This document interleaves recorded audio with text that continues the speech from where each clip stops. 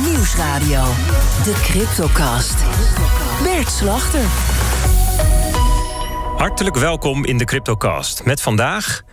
Goldman Sachs overweegt leningen te verstrekken met bitcoin als onderpand. De bitcoinprijs kelderde afgelopen weekend met 20% Wat is er aan de hand? Het Amsterdamse cryptofonds Maven 11 haalt ruim 100 miljoen euro op... en behoort daarmee tot de grootste van Europa. Dit is aflevering 197 van de Cryptocast... met een half uur crypto-nieuws hier op de radio bij BNR. En daarna gaan we door als podcast met een uitgebreid gesprek over inflatie... en de gevolgen daarvan met onze gast Lex Hoogduin. Hij is econoom en oud-directeur van de Nederlandse Bank. Welkom. Dankjewel. En uh, de co-host van vandaag is Paul Buiting... managing director bij Aunexum. Hi Bert. Wij geven geen beleggingsadvies. Vorm je eigen mening, maak je eigen keuzes en geef ons niet de schuld. Crypto kan lucratief zijn, maar is ook riskant. We gaan het hebben over het nieuws. En we beginnen met een bericht van Goldman Sachs, of over Goldman Sachs eigenlijk, en een aantal andere grote Amerikaanse banken. Zij gaan vermoedelijk leningen aanbieden met Bitcoin als onderpand. Cryptobedrijven doen het al een tijdje. BlockFi en Celsius die deden dat al, ja, ik denk een paar jaar. En nu dus ook een handvol van de grootste banken uit Amerika stond er dan in het bericht. Paul, wat, uh, wat moeten we hiermee? Een lening met bitcoin als onderpand, waarom zou het interessant zijn? Ja, Goldman Sachs, natuurlijk een hele bekende partij. Uh, niet per se eh, de witste raaf in de financiële industrie. Vaak in opspraak gekomen, natuurlijk ook in het verleden. Tijdens de kredietcrisis. Um, maar goed, interessant om te kijken wat dat soort partijen doen. In het verleden waren ze erg kritisch over uh, Bitcoin. In 2017 noemde de vorige CEO Lloyd Blankfein het nog een vehikel voor fraude. In 2018 zei hun chief investment officer nog dat het een bubbel was. Maar dit jaar zijn ze een stuk positiever. Dus de nieuwe CEO David Salomon die is positief. En die heeft een aantal dingen aangekondigd. In maart werd er gesproken over het, eh, het aanbieden van bitcoin aan zeer vermogende klanten van 25 miljoen plus. Later volgde er een samenwerking met Galaxy voor het traden van futures. En nu dus dit. Het is nog niet bevestigd overigens eh, door Goldman Sachs, dus even slag om de arm houden. Maar het komt erop neer dat Goldman Sachs graag eh, leningen wil verstrekken met bitcoin als onderpand. wel op een manier dat het niet dezelfde balans raakt van Goldman Sachs. Dus ze gaan een derde partij erbij gebruiken. En gaat een soort van repo doen waarbij de leningnemer de, het collateral, de bitcoin verkoopt en weer terugkoopt, verkoopt en weer terugkoopt. En op die manier kan er geld worden geleend zonder dat het uh, Goldman Sachs uh, de balans rechtstreeks raakt. Uh, nou, het is interessant om te zien of het groot wordt en, en we gaan het volgen. Maar ik begrijp hè, dat die constructie waar ze het over hebben, dat, dat je dus als, als Bitcoin-bezitter je Bitcoins verkoopt en, en, en daarbij het recht krijgt om ze weer terug te kopen. Ja, net als bij een gewone repo-markt, als het met staatsobligaties gaat. Op die manier krijg je liquiditeit, maar, maar heb je wel het recht dat je je Bitcoins nog kan houden in de toekomst. Ja, ja maar, dan, maar hoe zit het nou als de, de koers van Bitcoin dan in de tussentijd uh, verandert, stijgt bijvoorbeeld? Ja, als die, nou ja, als die bijvoorbeeld heel erg zakt, dan heb je het, risico natuurlijk dat je op een gegeven moment uh, dat de collateral moet worden verkocht. Dan krijg je een margin call. En uh, dat, dat is het gevaarlijke van te veel leverage. En dus enerzijds is het positief dat de traditionele partijen dit omarmen. Anderzijds, hoe meer partijen als Goldman Sachs dit, dit soort dingen gaan doen en hoe meer leverage en derivaten in de markt komen. ik weet niet zeker of dat per se goed is voor de volatiliteit of niet het kan twee kanten op. Ik las in het bericht dat er een, eh, een groep banken mee bezig is, waarvan Goldman Sachs er eentje is. Um, de, de, de, de plannen waren wat verdeeld tussen deze constructie die jij noemt en wel zelf de bitcoins um, in custody, in bewaring nemen. Um, waarom zouden ze geen fysieke bitcoins gebruiken hiervoor? Nou, omdat het, uh, het, regelgevende klimaat nog steeds niet helemaal duidelijk is. Dus er, soms komen er positieve signalen en dat bitcoin wordt gezien als cash. Um, soms is het weer onduidelijk. Ik denk dat een Goldman Sachs even op de schutting blijft uh, zitten totdat dat helemaal opgelost is. En in de tussentijd kunnen ze partijen gebruiken als Fidelity om, uh, om die bitcoins ergens te bewaren. Ja, eerder dit jaar kondigde BNY Mellon en de US Bank al aan Bitcoin te gaan bewaren voor hun klanten. Um, dan komen deze bitcoinleningen erbij over een aantal maanden misschien. Het lijkt, het lijkt erop dat de Verenigde Staten verder is dan Nederland. Ja, het is een veelbesproken onderwerp natuurlijk hier in de cryptocast. Hè. Uh, maar goed, we hebben straks nog een ander nieuwtje wat heel positief is voor Nederland. Dus ik denk qua, qua wet en regelgeving dat, uh, dat Europa, zoals wel vaker, uh, achter, de, achter de Verenigde Staten aanhobbelt. En in Nederland hobbelen we nog eens een stukje verder achter Europa aan. dus ik, ik ben wel eens met jouw observatie, ja. Hoe, hoe kijk jij naar de wet en regelgeving hieromheen, Lex? Ja, men zit op het vinken, vinkentouw. En naarmate bitcoin verder, uh, verder oprukt... worden de, de toezichthouders die worden, uh, zenuwachtiger. En juist ook uh, dit weekend is er een nieuw rapport... van de Bank voor Internationale betalingen uitgekomen. De Bank voor Internationale Betalingen is de, de bank van de centrale banken, waar centrale banken met elkaar, bij elkaar, eh, met elkaar bijeenkomen om over regelgeving eh, te, te, praten. En de, de BIS heeft nu eh, gezegd van ja, het is toch echt heel erg nodig dat we de gedecentraliseerde finance dat we dat gaan, uh, dat we dat gaan reguleren en dat we dat echt gaan, gaan aanpakken. En dat is, Spaal net ook al aangegeven, best ingewikkeld. Omdat als je gewoon naar de bestaande regelgeving kijkt, is het nog niet eens heel duidelijk waar nou precies die bitcoins onder vallen. Welke, welke regelgever er mee te maken heeft, of welke regelgever er mee te maken hebben. Maar ja, het is duidelijk dat er, dat er actie gaat, uh, gaat komen, denk ik. En dit soort, dit soort ja, verdergaande stappen... die zullen dat alleen maar uh, bespoedigen. Denk je dat voor hun bitcoin onder decentralized finance valt?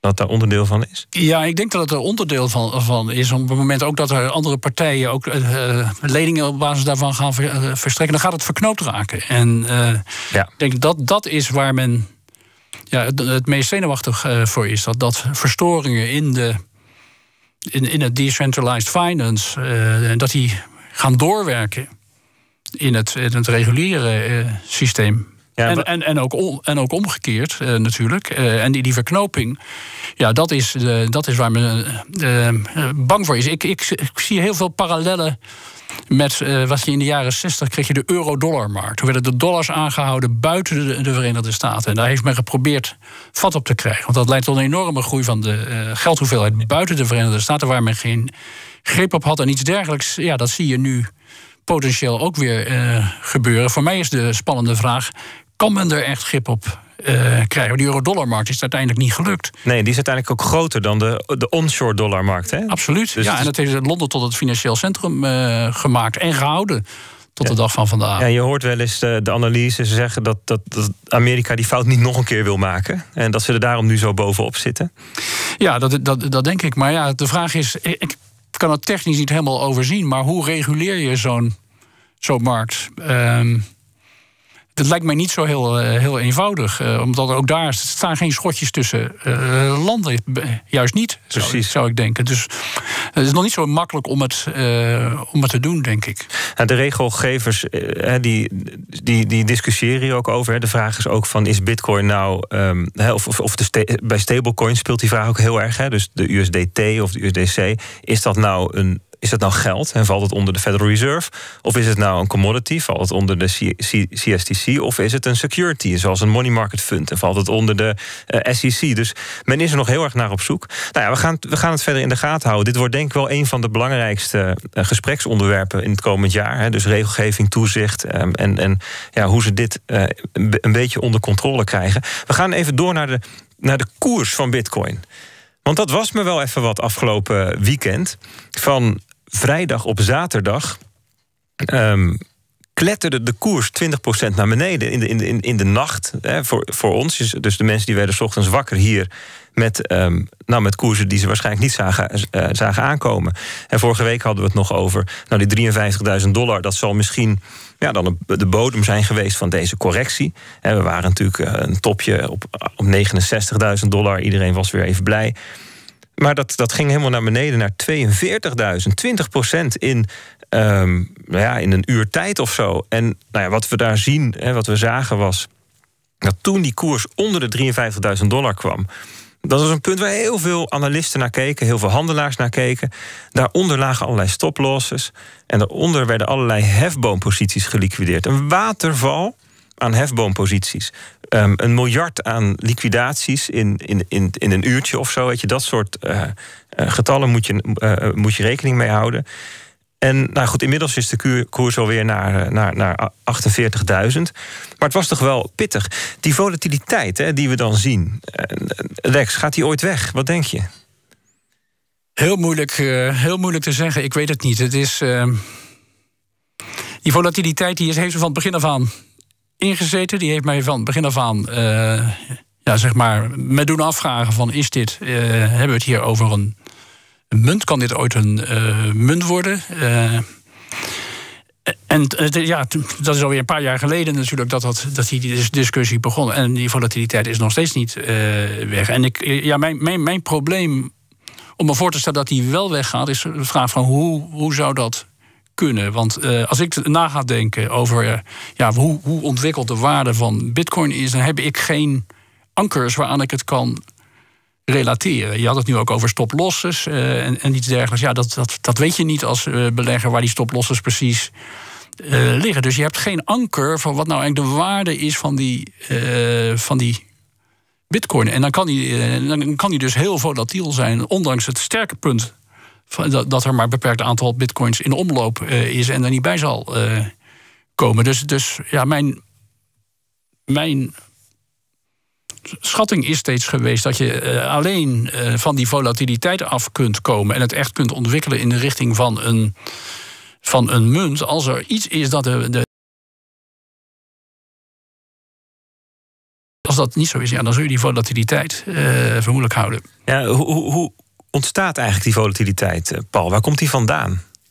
Nou, ik denk uh, goed om nog eventjes ook. Ik zie Lex zitten en ik heb Lex ook heel vaak horen praten hierover de afgelopen jaren. En, en volatiliteit is iedere keer eigenlijk het, het, punt waar je je zorgen over maakt. En we, zitten, we zijn nu in 2021 en, en we zitten weer met Lex te praten. En nog steeds is volatiliteit inderdaad een dingetje. Dus ik ben ook steeds sceptischer over of het echt wel weg zal gaan. Uiteindelijk denk ik dat het of digitale goud is en een hele belangrijke rol naast het goud bijvoorbeeld uh, inneemt als, als reserve uh, asset wereldwijd, dan verwacht ik net als bij goud dat die volatiliteit uiteindelijk wel minder gaat worden. Maar we hebben daar denk ik heel veel geduld voor nodig. Want als je nu kijkt naar de volatiliteitsmaatstaven, is het Bitcoin niet nu minder volatiel als, uh, als in het verleden. Alleen het echte begin natuurlijk was. Maar waar, waar komt het vandaan dan? En prijspunten worden overschreden. En, en, daardoor gaan allerlei algoritmes uh, in werking treden, botjes gaan handelen. En, en mensen moeten hun posities liquideren. Uitslagen krijgt. En waarom is dat erger dan op de traditionele financiële markten dan? Want daar heb je ook tegenwoordig allemaal algoritmes die treden. Er zijn zelfs hele bedrijven, beursgenoteerde bedrijven, die aandelenmarkt heb je nog eens iets als een Fed uh, plunge protection team. Dus als er te grote uh, koersdalingen zijn, dan, uh, dan gaat de Fed interveneren. En ook zijn er allerlei. Op een gegeven moment wordt zo'n beurs gewoon stilgelegd. Dus je hebt daar wel wat um, maatregelen waardoor die uitslagen wellicht wat minder groot zijn. Maar goed, kijk, eigenlijk. Dus wel misschien een beetje vooruitlopend op het postlasgedeelte. Maar de overheid of een centrale bank die weet als die een prijs wil stabiliseren, dan moet je met de hoeveelheid gaan, gaan spelen. Bij Bitcoin is de hoeveelheid gelijk. Dus gaat die prijs uh, fluctueren. het lijkt wel alsof je daar ook niet, niet onderuit kan komen. Uh, maar goed, uiteindelijk denk ik dat het wel, net als goud, wat minder volatiel gaat worden. Dus je zegt eigenlijk het komt omdat Bitcoin een echte open vrije markt is. In combinatie met de, elastisch, de inelasticiteit van het aanbod. dus er is een vast hoeveelheid. En dus moet vraag en aanbod, of de wisseling van de vraag, moet tot uiting komen in de prijs. Dus de enige manier. Exact. En dat, dat zie je in de traditionele markt, is dat anders zeg je, want daar kan en met aanbod gespeeld worden en daar zijn mogelijkheden om de handel stil te leggen en om in te grijpen.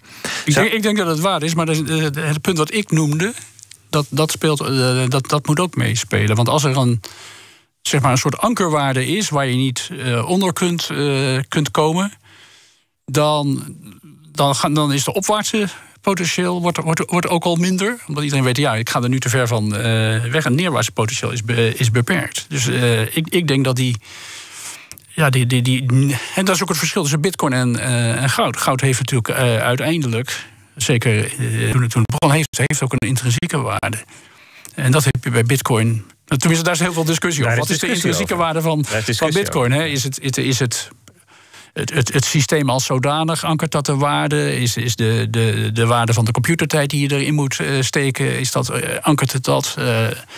Ja, daar, is, dus, daar, is discussie, uh, daar is discussie over. En daar is in ieder geval, dat is in ieder geval minder uh, hard uh, dan, dan voor goud. Ja, het is een, het is een, dit is inderdaad nog een, echt een open vraag ook, hè, in, de, in de Bitcoin gemeenschap van hoe zit het nou met die waarden? Waar, waar, hoe zitten die verbanden? En een van de gedachten is dat de, de koers van bitcoin eigenlijk, zeker als je een beetje uitzoomt en de korte termijn schommelingen eventjes glad zou strijken, dan is het eigenlijk een functie van de adoptie op dit moment. Hè. Ik denk, je zegt als het eenmaal zo groot is als, als het eenmaal geadopteerd is, in gebruik genomen is.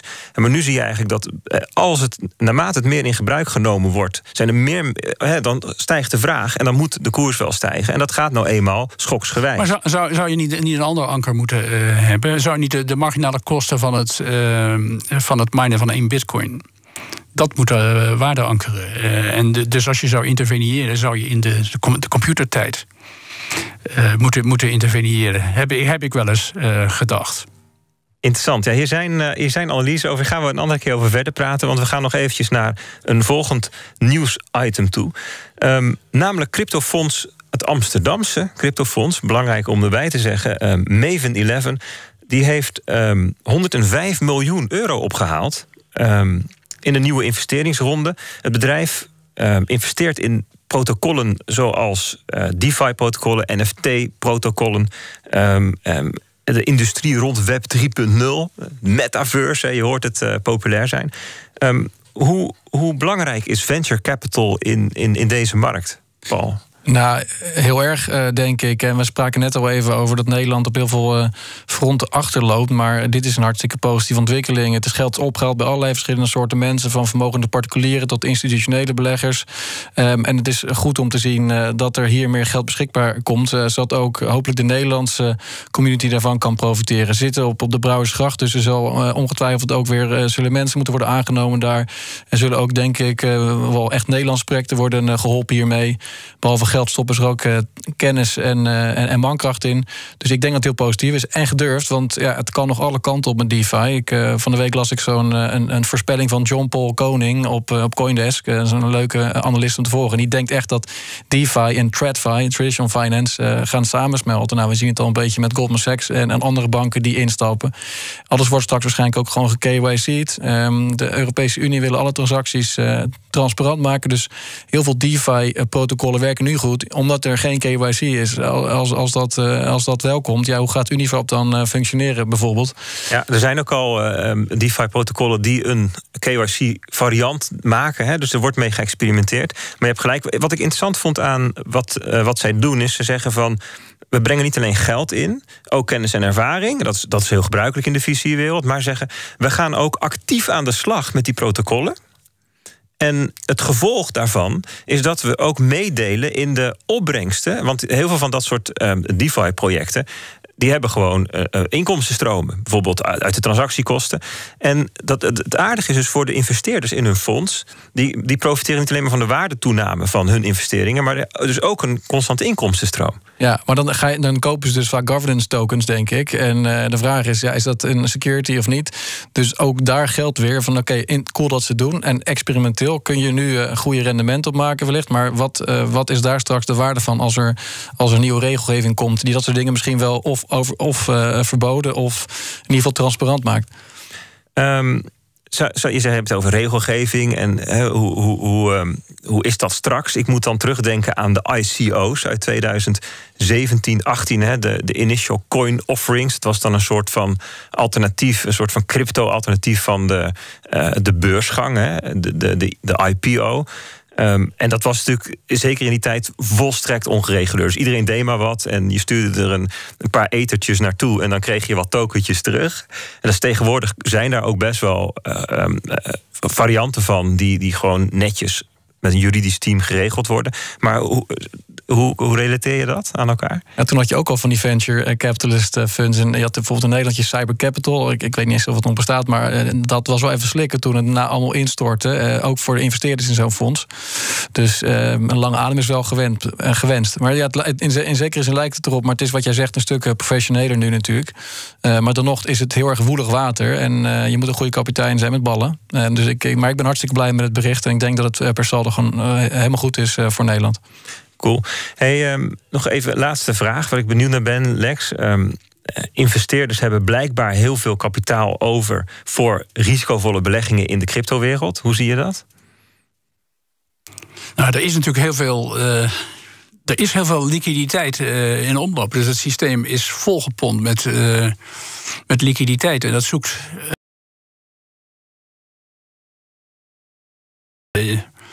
in heel veel traditionele beleggingen is natuurlijk geen, geen droogbrood te verdienen. Respectievelijk zijn waarden al heel erg uh, opgepompt.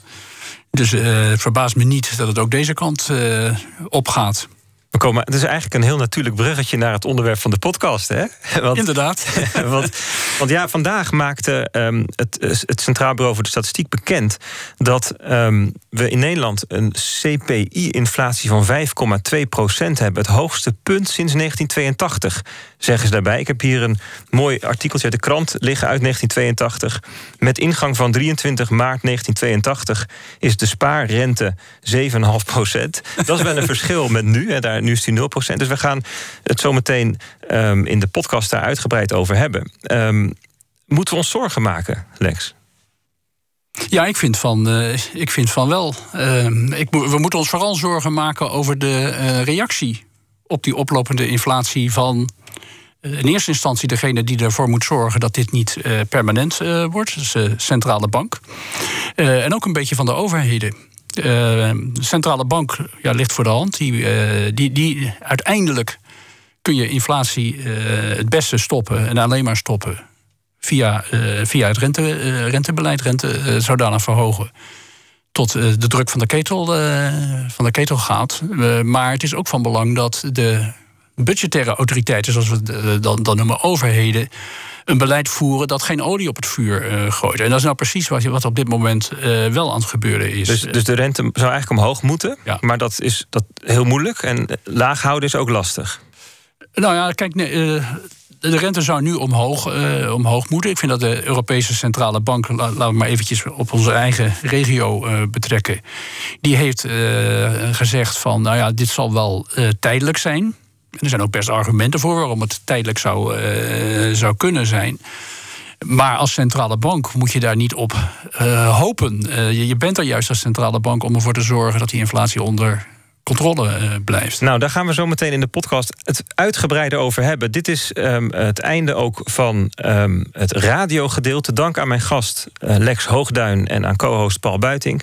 We zetten het gesprek voort in de podcast. Wie meegaat tot straks, wie afhaakt, bedankt en graag tot volgende week bij de Cryptocast op BNR. Dit is deel 2 van de CryptoCast, het podcastgedeelte. In het eerste deel hebben we het gehad over het laatste crypto-nieuws. Je vindt dat als de vorige aflevering 197a. Nu praten we over um, inflatie. De hoogste inflatie sinds 1982, 5,2 procent, meldde het CBS vandaag. We praten daarover met uh, onze gast Lex Hoogduin, econoom en oud-directeur van de Nederlandse Bank, en co-host Paul Buiting, managing director bij Aunexum. De cryptomarkt professionaliseert. Veel particuliere, zakelijke en institutionele beleggers nemen nu cryptovaluten op in hun portfolio. En toch wordt het cryptodomein vaak nog gezien als een anoniem online gebeuren. Voor Amdax is het juist volkomen persoonlijk. Cryptovaluta opslaan, verhandelen of het in beheer van uw cryptovermogen volledig uit handen geven. Amdax is er voor de serieuze cryptobelegger die zijn portefeuille wil onderbrengen bij een veilige professionele partij. We gaan het hebben over inflatie de afgelopen weken um, zagen we al heel veel verontrustende berichten langskomen. Eerst in de Verenigde Staten, ik geloof naar 6 procent. 6,3. 6,3. Um, en dan vorige week waar kwamen de Europese inflatiecijfers uit, de HICP. En toen kwam Duitsland al met, um, met 6 procent en dan Nederland 5,7 of zo. 6, 6, 6. 5,6. 7,1 in België zie ik hier staan. Dus dat, is, uh, dat hebben ze toch een keertje gewonnen, die uh, zuidenburen van ons. Ja, hier zijn ze goed in de Belgen. hier zijn ze goed. En ik hoorde daar nog bij, daar kunnen we straks misschien nog wel over hebben... dat de Belgen um, automatisch hun prijzen erop gaan aanpassen. Dus het wordt nog liggen uit de krant. 23 maart 1982. Dat is vlak voor mijn geboorte. Ik ben geboren in 1982. Um, de rente, die wordt daar, de, eh, de, de, spaarrente, wordt um, verlaagd, denk ik, ja, naar 7,5 procent, was 8 procent. Maar als je het een jaar vastzet, 8,5. Dus dat was een beetje de tijd. En toen hadden we dus dezelfde inflatie als nu. Ja, daar moeten we maar eens uitgebreid over gaan hebben. Want dit doet wat met, met mensen, met, met, met hoe je naar geld kijkt en de economie. Laten we eens beginnen bij wat is eigenlijk inflatie, Lex? Ja, inflatie. Eh, vandaag de dag wordt inflatie gedefinieerd als een toename van het algemene prijspeil. En dan met name van de prijzen van consumptiegoederen. Dus de dingen die wij als burgers uh, aanschaffen. Dat is inflatie. Um, Dat betekent dus dat je kijkt naar een beperkt aantal prijzen. Dat is wel, wel van belang. Dus je kijkt niet naar de, bijvoorbeeld de, de, de prijzen van aandelen, de prijzen van huizen, of de prijzen van goederen die bedrijven aan elkaar leveren, producentenprijs. Dus een beperkte groep prijzen die ons als burgers uh, ter harte uh, gaan. Dat is de inflatie. Dat noem je dan vaak ook nog de headline inflation. Uh, omdat er ook nog een begrip is als kerninflatie. Dan haal je uit de, de prijsstijgingen, haal je de prijsstijgingen van goederen en diensten die over het algemeen heel volatiel zijn. En dat is in de praktijk is dat voedsel en energie. Dat is een inflatie. En dat, dat meten we met de CPI dan? Dat, meten, dat meten we uh, op Europees niveau met de HICP, die je al even noemde. Dat is de Harmonized Index of Consumer Prices. Waarbij landen allemaal die inflatie op precies dezelfde manier. Zodat je ze kunt meten. vergelijken. Dat je ze kunt vergelijken en ook kunt, uh, kunt optellen. Uh, in Nederland zijn we. Bij de, bij de invoering van de euro he, is die HICP gedefinieerd. Maar we zijn in Nederland ja, eigenwijs om te denken dat wij de inflatie net iets beter kunnen meten. Dus we hebben nog steeds onze eigen uh, eh, CPI. Die in wezen hetzelfde ongeveer probeert uh, te meten. Maar, maar er zitten wat kleine verschillen uh, tussen. Maar nu vond ik hem best groot, het verschil. Ja, dat heeft te maken met de, de huurprijzen die in Nederland gereguleerd zijn en beperkt stijgen. die, die, dat wordt allemaal wel meegenomen in de, in de HICP en beperkter in, in onze eigen in onze eigen index. Dus uh, daardoor is het verschil is 14 uh, procent uh, punt deze keer. Maar ik, denk, ik denk dat het ja, nu niet heel erg belangrijk en ook relevant is om, om daar heel erg op te focussen. Want beide zitten, zijn veel te hoog en beide lopen, lopen hoog op. Oké, maar zegt het wordt nu gemeten als, we definiëren het nu als het prijspeil. Want ja, algemeen prijspeil van consumptiegoederen. Ik, ik, hoor, ik hoor in de manier waarop je het formuleert dat je zegt, oh, het zou eigenlijk, of er zit iets historisch. Iets ja, er zit, een historie, er zit een historisch verhaal achter. Want uh, inflatie betekende uh, oorspronkelijk.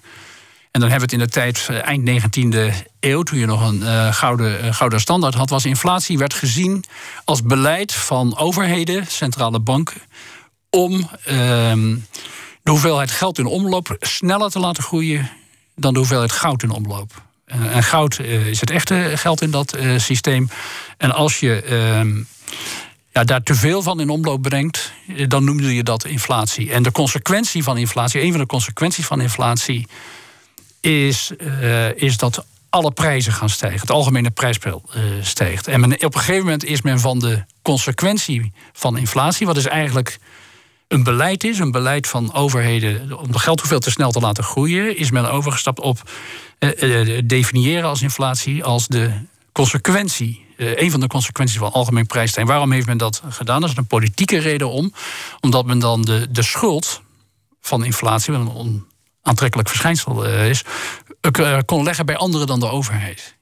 als inflation a policy is, dan is, ben jij ook de schuldig als overheid. Als je zegt van nou het komt door prijsstijging, dan kun je zeggen nou, het komt door speculanten die hun, uh, die hun prijzen verhogen, mensen die misbruik maken van de situatie. Uh, en nou, bijvoorbeeld wat we nu zien. Uh, in Amerika, de, de gas, en, en, olieprijzen zijn sterk gestegen. En wat zegt Biden? Die zegt dat de schuld van het oliekartel. Nou, dat, dat kun je doen als je inflatie definieert als prijsstijgingen. En niet zegt het is uiteindelijk is het een verschijnsel dat rechtstreeks gevolg is van verkeerd beleid.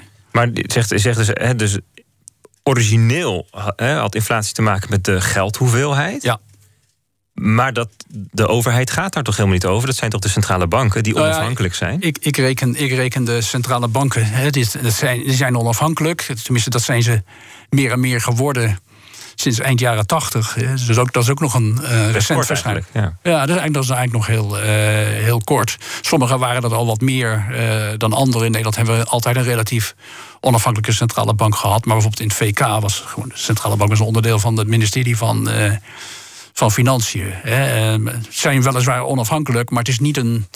Het is niet een, een private partij. Het blijft natuurlijk onderdeel van de, van, van de overheid. Ze krijgen een bepaalde opdracht en die voeren ze uit. En, en, ja, dus, dus sinds, eind 89 is eigenlijk, eigenlijk uh, bijna over de hele wereld... Uh, is, is het idee dat je een centrale bank, die moet je onafhankelijk uh, hebben. Want die kan dan als het erop aankomt, onpopulaire maatregelen nemen. Lees de rente verhogen. Dat zal een overheid nooit, nooit, nooit doen. Die zal het niet zo gemakkelijk doen. Daarvoor maak je hem onafhankelijk. en je, die centrale bank die, gaat, die gaat zich richten op het, op het sturen van de inflatie zelf. Dus niet meer de geld. niet de geldhoeveelheid, maar de inflatie zelf. Die maakt een voorspelling van de inflatie twee, drie jaar vooruit meestal. En als die inflatie daar te hoog uitkomt, dan wordt die centrale bank geacht de rente te verhogen. Als die te laag uitkomt, dan kan die hem verlagen. En dat noem, je, ja, dat noem je de strategie van inflation targeting, waarbij dus ook uit het instrumentarium, zeg maar de manier waarop je daarnaar kijkt, ook helemaal de geldhoeveelheid naar de achtergrond is geschoven. In, in, in, Europa nog het laatste. Uh, in Amerika veel, uh, veel eerder. Maar, maar die is helemaal verdwenen. Alsof inflatie inderdaad niet, zoals Milton Friedman, een van de grote monetaire economen zei: inflation is always and everywhere a monetary phenomenon. En nou, dat is nu helemaal weggespoeld. Ja, dus we, we maken nu de sprong van hè, dat, dat inflatie is de geldhoeveelheid die vergroot wordt. En de inflatie dat die weer verlaagd wordt, verkleind wordt. Naar Um, inflatie is het prijspeil. voor, en dan vaak nog, we hebben het als we het in, de, in het algemeen over hebben, heb je het specifiek over de consumentenbestedingen. Ehm, en dan het liefst over wat Henk en Ingrid de portemonnee voelen. dat is dan waar het over gaat. Maar ik heb ook het idee dat de afgelopen tien jaar die geldhoeveelheid flink is vergroot. Zonder dat dat voor de stijging van het prijspeil zorgde. Pas de afgelopen maanden zien we dat ineens. Dus er is ook toch een soort loskoppeling nou, die koppeling is, is op langere termijn. En ik denk dat het eh, belangrijk is om ons te realiseren dat de. Eh, je verwijst naar de laatste tien jaar. Uh, en dan heb je denk ik ook in gedachten niet alleen de renteverlagingen, maar ook de, het, wat heet het onconventionele monetair beleid. Dus dat zeg maar even kort de bocht, het opkopen van staatsobligaties. Um, daardoor is in eerste instantie is niet de hoeveelheid in de portemonnee van, van jou, Henk en Ingrid uh, vergroot. Dat geld uh, wat, wat uh, in omloop kwam door het opkopen van die obligaties, kwam bij banken, bij financiële instellingen, die die handel in die obligaties verzorgen. En wat die ermee hebben gedaan, is voor het overgrote deel, is om dat weer ja, te besteden in de financiële sector zelf. door aandelen te kopen, door obligaties te kopen, door het hele financiële deel van de economie uh, heel erg op te blazen. Te infleren zou ik bijna uh, zeggen, als je de oude definitie gebruikt. maar het is minder terechtgekomen, of eigenlijk helemaal niet terechtgekomen in de portemonnee van Henk en Ingrid. En dat is nu recent uh, veranderd uh, tijdens de coronacrisis. Toen zijn overheden zijn, om begrijpelijke redenen, zijn grote steunprogramma's gaan opzetten. Die, die ervoor zorgden dat uh, mensen die hun baan redden verliezen, toch konden doorwerken, gewoon inkomen bleven krijgen.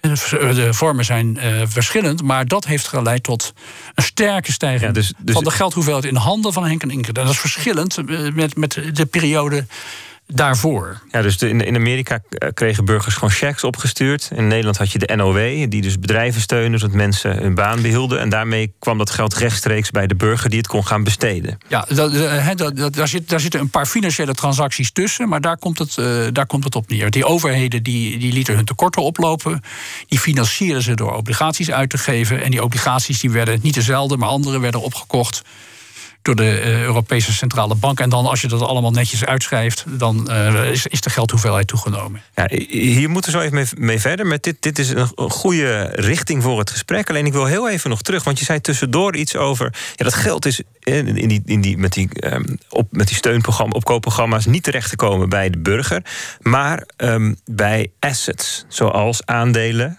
en obligaties en vastgoed. Ja. En dat zou je dus ook kunnen zien als een vorm van inflatie. Maar dan asset price inflation? Is dat een goede. Ja, dat, eh, dus je zou, als je, als je toch inflatie in termen van prijzen wil definiëren, kun je, eh, kun je ook kijken naar prijzen van, uh, van assets, van, van vermogenstitels. Dus dan de stijging van aandelenkoersen, de sta, uh, stijging van huizenprijzen. En met name het laatste, Lex, dat, dat verbaast me altijd. Dat uh, wonen is een heel erg belangrijk onderdeel van Henk en Ingrid, om ze nog even bij te halen. En, en dat komt maar heel erg beperkt terug in de, meten, in de meting van, van de prijsinflatie. Je hebt dan wel een stukje huur, wat jij al aangaf, wat terugkomt. Volgens mij gaat de ECB dat wel anders aanpakken naar de toekomst. Door die kritiek heeft ze zich aangetrokken. Kun je daar iets over zeggen? Ja, dit is ook een vraag die door luisteraars gesteld ja, Nou ja, kijk, ik, ik, ik moet een beetje lachen als je zegt de ECB wil zich iets van de kritiek aantrekken. Uh, ik, ik ben zelf, uh, zoals jij weet, maar misschien luisteraars niet betrokken uh, geweest bij, uh, bij de, in de eerste jaren van de, de euro, het laatste jaar van de voorbereidende uh, instelling. En toen al was er de discussie over: moet je niet huizenprijzen veel directer in de HICP opnemen? Toen zei iedereen: nou, er zijn best, best redenen voor om dat te doen, maar laten we dat nog maar eventjes uitstellen. En nu in 2020 begint de ECB, die doet een herziening van zijn strategie. Uh, en die zit na te denken over zijn herziening van zijn strategie. En die komt tot de conclusie dat ze over vier jaar, want zoveel tijd hebben ze nog nodig om het allemaal te, te regelen, via de statistische bureaus uh, hier iets meer van, van opnemen. Dus ik vind dat er. Het, het, is goed dat ze het gaan doen, maar er spreekt helemaal geen gevoel van urgentie, urgentie uit. Helder. Nou ja, dat is toch wel dan problematisch, want dat betekent dat het leven wel duurder wordt, zonder dat dat zichtbaar is in de cijfers. Ja, uh, dus, nou, nou, ja, je kunt zo, zo, eh, sowieso zeggen... er zijn allerlei prijzen die, uh, die de pan uit aan het reizen zijn... Waar de, waar de ECB van zegt, ja, die, daar kijken wij op zijn best indirect nou, en natuurlijk het, het, het belangrijkste. Nou, producenten, producentenprijzen, prijzen van aandelen, prijzen van obligaties. Maar, maar huizenprijzen is natuurlijk. is, is, is, ja, die raakt laten we maar toch maar even steeds Henk en Ingrid blijven uh, zeggen. Henk en Ingrid natuurlijk uh, rechtstreeks. Als je kijkt wat er, uh, nou dan maar Nederland nemen, wat er gebeurd is met de huizenprijzen ten opzichte van de inkomens de laatste 50 jaar. dan kon iemand met een modaal inkomen kon in de jaren 70 kon, kon, een, huis, kon een huis van een zekere kwaliteit kopen. Nou, dat is nu uitge, uitgesloten. Omdat die, die inkomens die zijn veel trager, hebben zich veel trager ontwikkeld dan die, uh, dan die huizenprijzen. Dan, maar dan zegt uh, Peter Hein Vermulligen van uh, het, CBS, die zegt ja, maar de, de leencapaciteit is veel groter geworden, omdat die rente zo laag is. Dus uiteindelijk zijn, is wonen betaalbaarder geworden. Ben je dat mee eens? nou, kijk, de, ik denk dat je een on, je moet een onderscheid maken tussen inderdaad betaalbaar, betaalbaarheid en zeg maar de huizenprijs als zo, uh, zodanig. heeft natuurlijk gelijk dat op het moment dat, uh, dat de rente nul is, eh, bij wijze van spreken, is niks een probleem. Dan is ieder, geen enkele schuld een probleem.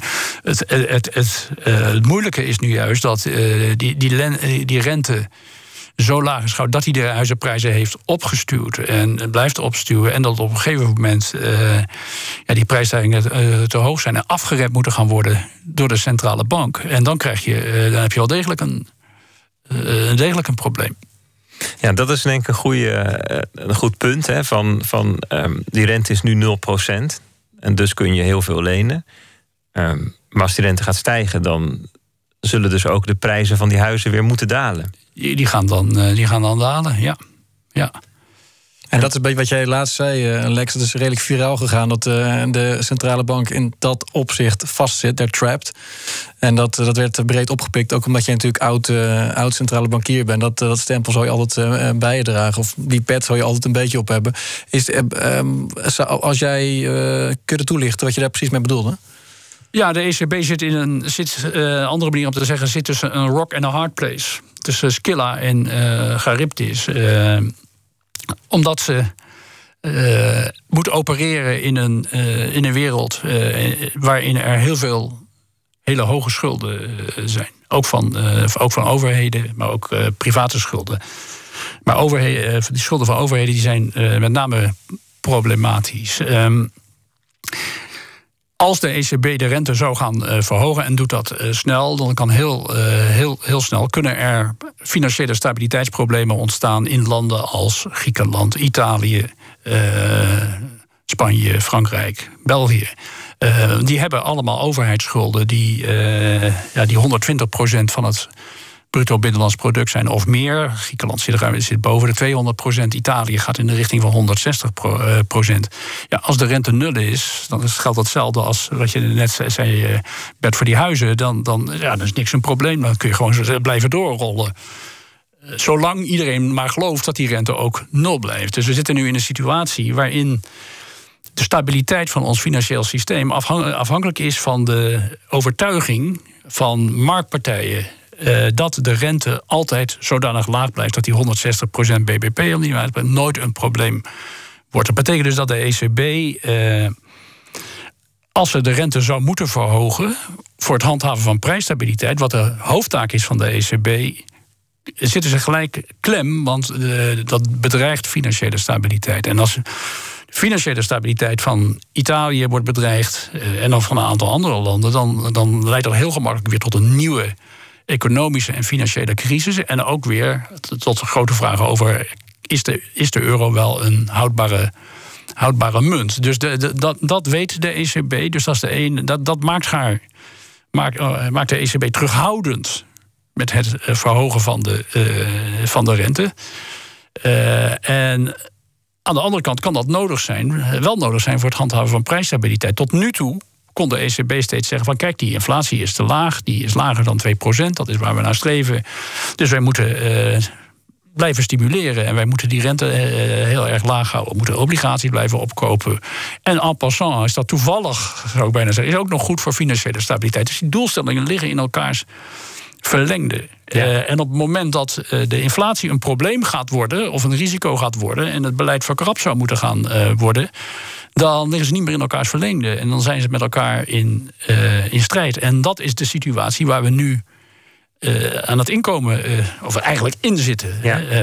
en en ja, de ECB die probeert, en dat, dat, dat is waarom ik eerder op jouw vraag van is het zorgelijk?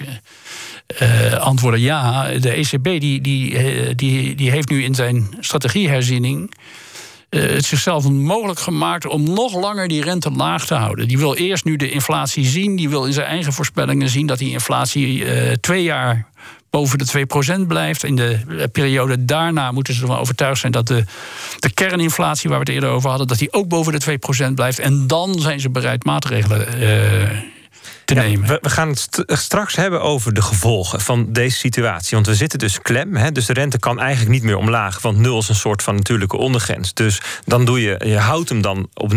En je doet eh, aanvullende maatregelen. Extra monetair beleid, zoals die, die opkoopprogramma's. Ja. Dat is schadelijk als je dat heel lang daar houdt. Maar het verhogen is ook lastig, dus er zitten ze klem. Gaan we straks ook verder over praten. Ik wil eerst graag um, twee paden nog even met elkaar bekijken. Ten eerste, de rente, die is dus nu 0%. Nou ja, ja eigenlijk min, min, een half. Of min, min, een half is de rente die de ECB zet. Hè. Er zijn natuurlijk allerlei andere rentes. Maar Precies. Dus de, de zogenoemde beleidsrente die is min een half. En hoe is die daar gekomen, is dan de vraag. Hè? Want uh, jaren 80 hadden we het net even over. Toen was die een stuk hoger. Zou je ons daar eens even in kunnen meenemen? Hoe kan het nou dat die rente uiteindelijk daar op nul is? Daar zijn, daar zijn uh, scherpe meningsverschillen over tussen, uh, tussen economen, hoe dat, hoe dat precies gekomen is. Uh, maar, maar feit is dat de rente de laatste 35 à 40 jaar op een dalend pad, uh, dalend pad zit. dat heeft de nominale rente, hè, dus de rente niet gecorrigeerd voor, voor prijsstijgingen, die is gaan dalen toen, toen centrale banken de inflatie die aan het eind van de jaren 70 heel hoog was, onder controle begonnen, uh, begonnen te krijgen. En uh, ja, dan gaat de inflatievergoeding in de rente. Die gaat ook omlaag. Dus dat is één reden waarom die systematisch is gaan dalen. daarnaast wordt, er, wordt er door heel veel economen en ook door centrale banken zelf.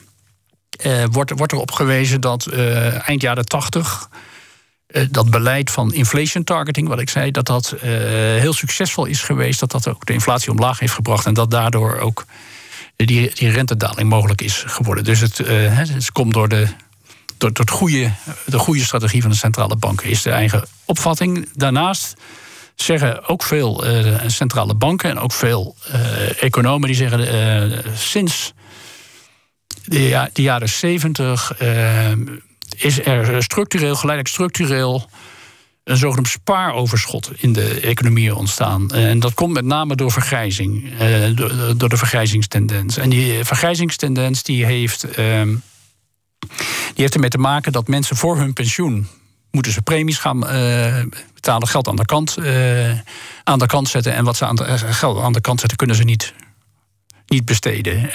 En daartegenover, uh, dat geld wat ze aan de kant zetten, daar is maar beperkte vraag voor om dat te lenen voor investeringen. Dus er is een soort mismatch tussen besparingen en investeringen eh, ontstaan. En de rente zorgt ervoor dat die twee weer aan elkaar gelijk eh, worden. En als je de rente verlaagt, zeggen mensen: Nou, ik ga het nu, nu toch maar uitgeven, want ik krijg er weinig spaar, eh, spaargeld voor. En als je de rente verlaagt, dan wordt het aantrekkelijker om te investeren. Dus dat is een soort evenwichtsmechanisme om die rente, om die economie weer in, in balans te, te brengen. Nou, daarnaast is, is er, hebben we de globalisering sinds de jaren 70, eh, met name opkomst van China, wat heel veel extra mensen op de wereldarbeidsmarkt in feite heeft gebracht. En druk op de lonen heeft gegeven. En daarmee ook druk op de, druk op de prijzen. Dus dat zijn uh, zeg maar tijdelijke, maar wel heel langdurende schokken aan het, aan het systeem. En wat de centrale banken zeggen, nou ja, wij moeten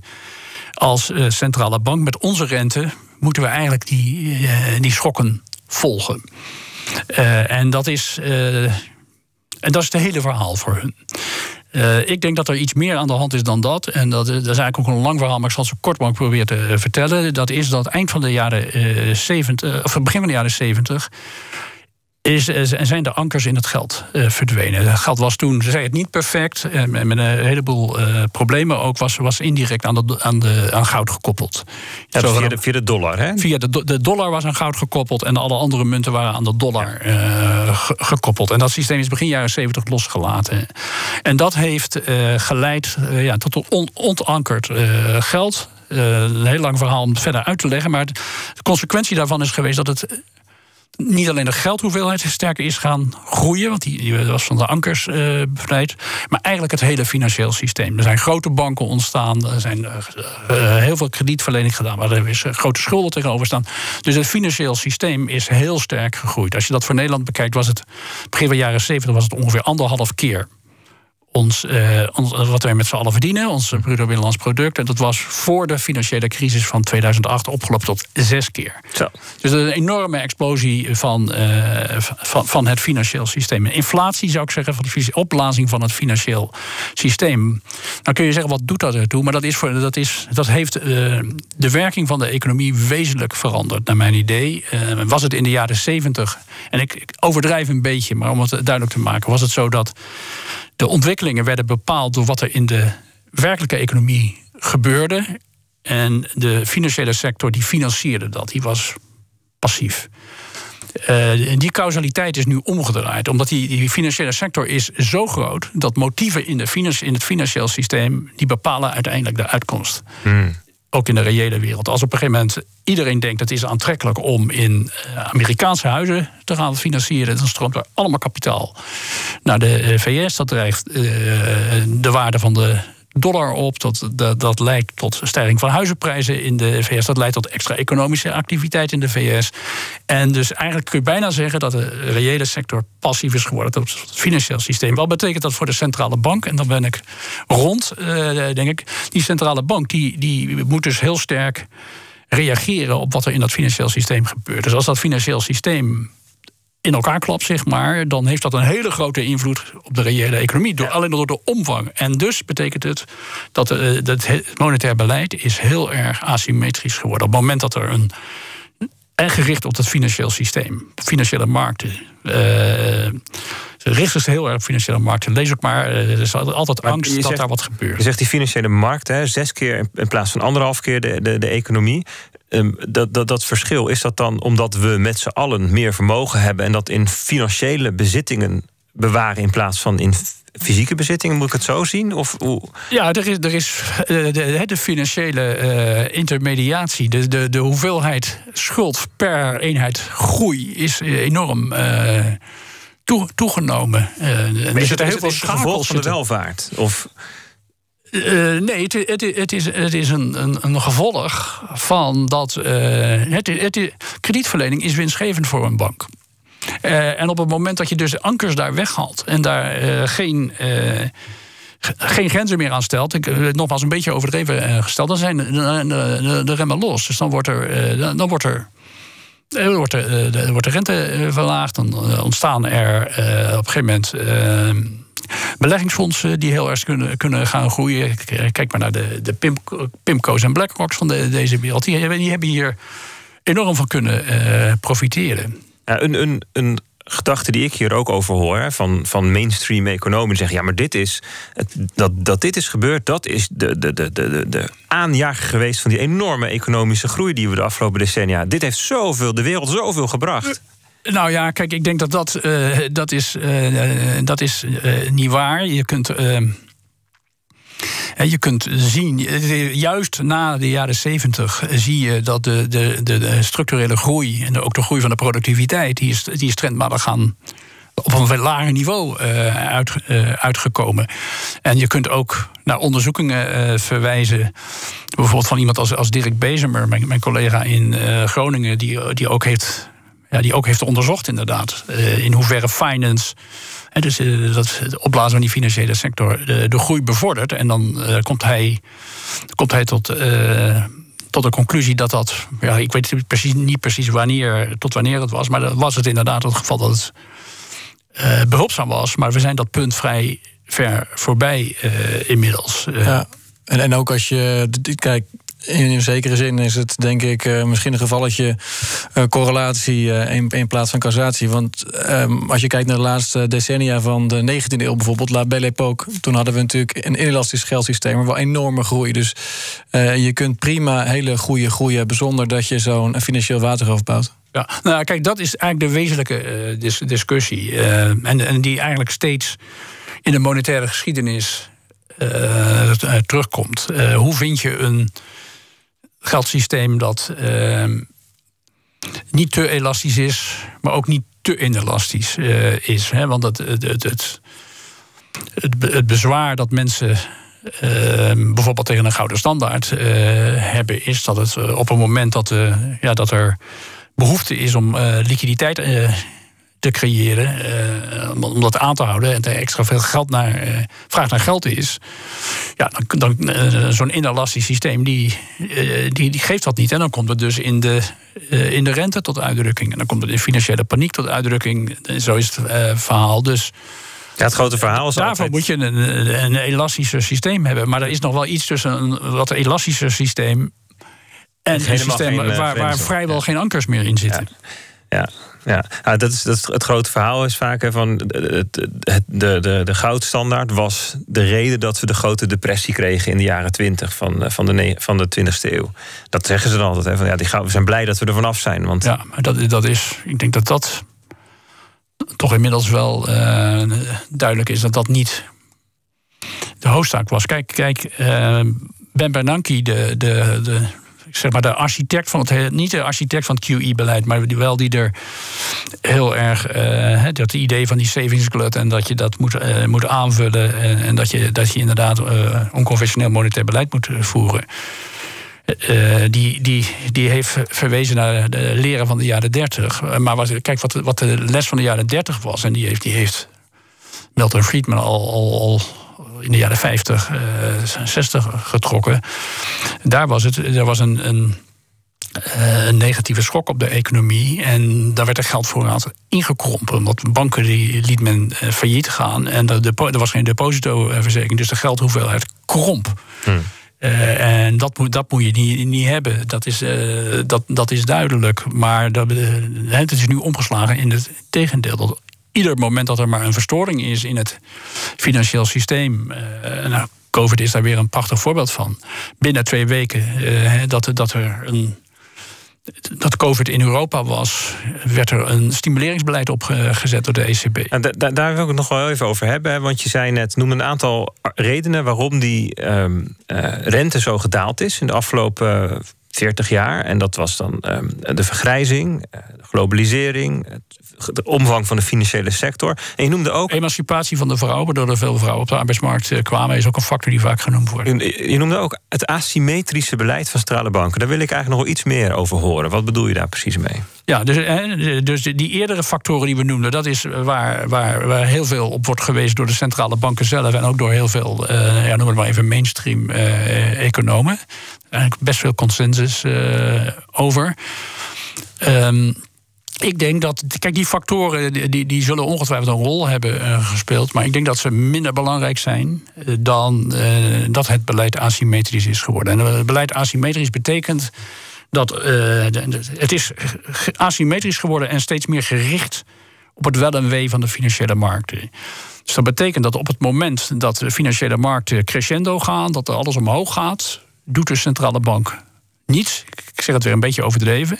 Doet de centrale bank niets. Maar OW, als er enige eh, teken van onrust is, dan gaat de rente gaat omlaag.